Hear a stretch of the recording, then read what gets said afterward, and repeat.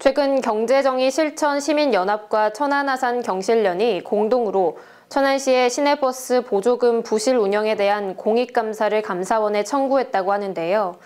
이들은 천안시가 수백억 원의 세금을 쏟아붓고도 버스회사 3사의 방만 경영을 방치해 혈세를 낭비했다면서 이를 개선하기 위한 방안 마련을 촉구하고 나섰습니다. 최영민 기자가 보도합니다. 경제정의 실천 시민연합, 약친 경실련과 천안 아산 경실련이 천안 시내버스 보조금 부실 운영 실태에 대한 공익감사를 감사원에 청구하고 나섰습니다. 이들에 따르면 시내버스 3사는 2019년 300억 원, 2020년 452억 원 등 매년 수백억 원 이상의 보조금을 천안시로부터 지급받고 있습니다. 그러나 방만한 경영으로 막대한 부채는 물론 노동자들에 대한 저임금 지급, 퇴직 적립금 미적립 등이 발생하고 있으며 편법으로 임원들의 급여는 대폭 인상하는 등 도덕적 해이도 심각한 실정입니다.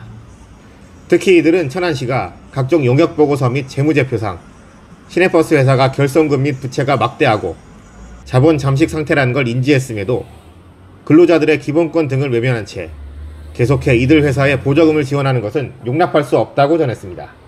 년 천안시에 막대한 보증을 지급하면서 근로자의 복지는 향상이 되지 않고 또 더욱이 버스 회사들은 에, 적자는 계속 늘어나고 이런 상황이거든요.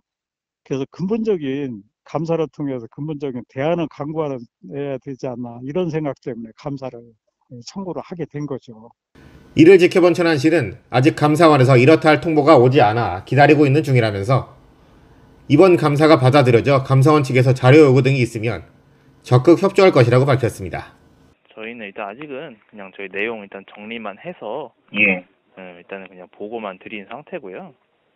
음, 그리고 일단 뭐 대응 같은 거는 사실 이제 그게 뭐 정식적으로 받아들여지면 이제 감사원에서 내려올 거잖아요. 일단 검토만 살짝 하고 있고 뭐 시 입장에서는 뭐 이거는 이건 이건 맞다 이건 아니다 막 이렇게 아직 다 정리를 하지는 않았어요 그 부분.